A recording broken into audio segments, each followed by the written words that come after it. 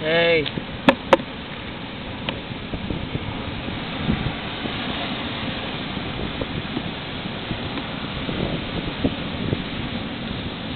Like, what the fuck am I supposed to do with this? That's Chittam's baby eel.